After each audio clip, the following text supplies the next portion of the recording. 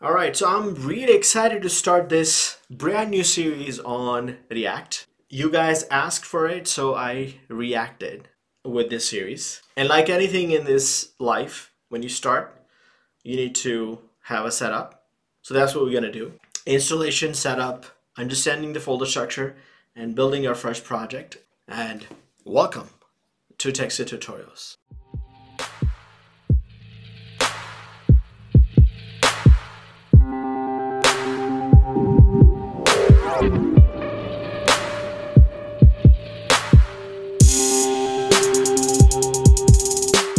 Before you get started, you need two things. Uh, you need a computer, obviously, and you need npm install on your computer, um, the latest version of Node Package Manager. And then go to command line and run this command, npm install dash g create react app.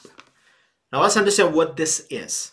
So npm install is obviously um, a command to install a package. So create React app as a package. Uh, so it's like a command line, a React, just like Angular has it, Ember has it. Um, React people created it. And dash G means install it globally means means you can access, you can create project on any directory and it will be available to you. So it's installing globally on your computer. Once you do that, it will take a few minutes, so wait and watch. Once you have it, you can use it by typing this, create react dash app, and then the name of the project. So I'm going to name it my dash beautiful react react app. I can choose whatever name I want. And again, it will take a few minutes.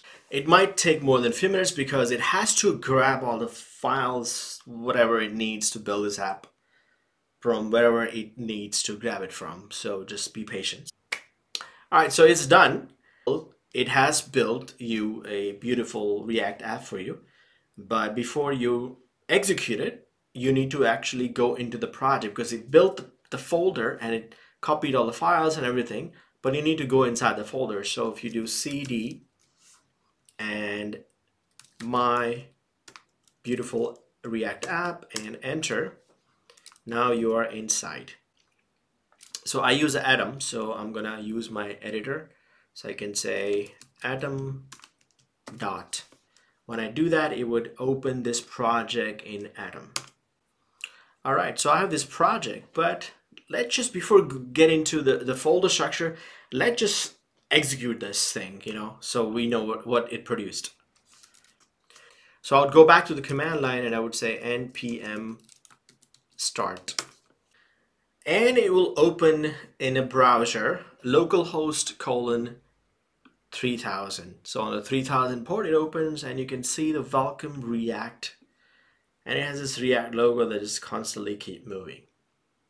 So voila, you have your first project. All right, so now that we know how what it does, let's look at how it does it. So if I go back to the folder structure, the first thing I want to do is look at the package.json because that's where the magic happens. Um, and again, I want you to not just look at this as, hey, I did something, rather just, hey, I want to understand every darn thing in this project. So you want to look at line by line everything and how exactly it works. So if you're confused about something, then you should be curious why it does what it does, why this, this line added here. And if you're not curious, then it's a problem. So let's look at, I may not go through everything, but again, you should do it whenever you start this new project. Don't move it without doing this exercise. All right, so the package.json, you have the name of the app, My Beautiful React App. So it already has that. There's a version, a zero point, you know, you can call it beta or something. All right. Um, then you have dependencies. You have, it brought three files basically with it. it has the major main React, which is 6.1.0. It has React DOM and it has React script. So it actually loaded three files, three packages, should I say. And it has a bunch of shortcuts for script. So remember when we ran npm start, this is where it's coming from. So you can run any script on that is defined inside the package.json by saying npm and the script name. So here the script name is start, so it ran that. And what actually it ran is React script start, which is coming from this React script. And you can build your project using npm build, which would run npm script build actually. So this is just a short command npm build, but ultimately it runs the React script build.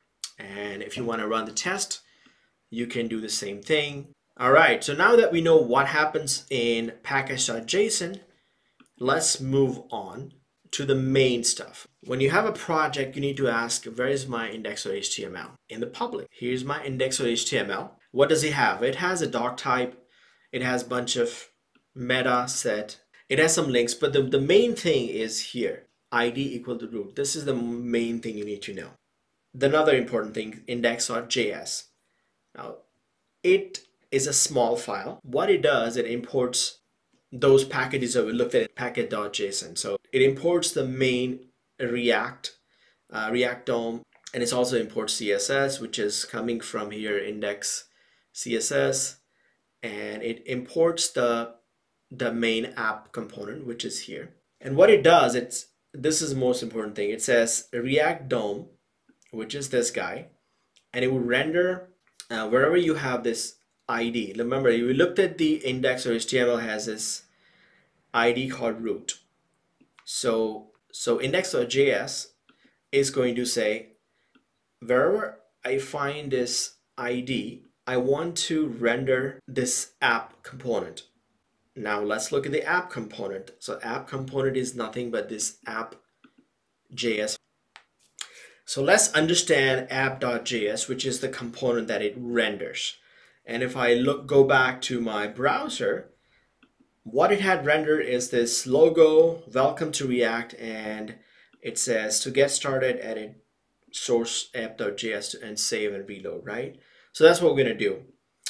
Um, so it has this header, uh, which has a logo, which is the image here, app logo, and it says welcome to React. So first thing I'm going to do is instead of React, I'm just going to say welcome to my beautiful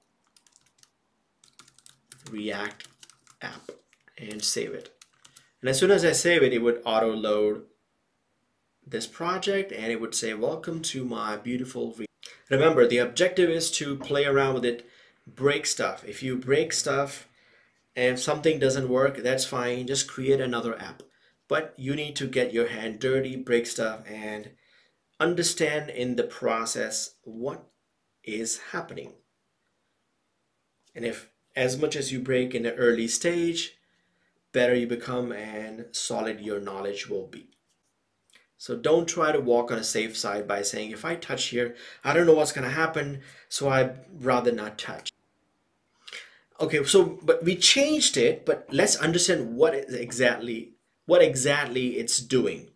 So in order to build any component, you would need this. First of all, you wouldn't need React and you would need component.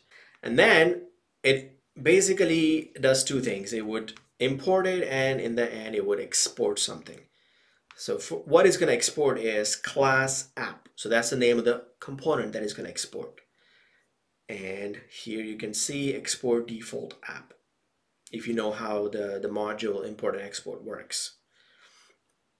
All right, so the inside this, it has this function called render, uh, which returns this HTML looking code which is really not HTML. This is called JSX. Uh, this is a special React thing you won't see anywhere else. Only React uses. That's why it doesn't have template. Like Angular has JS file and template file. In React, you have JSX. So it's like you are including mixing JavaScript and HTML.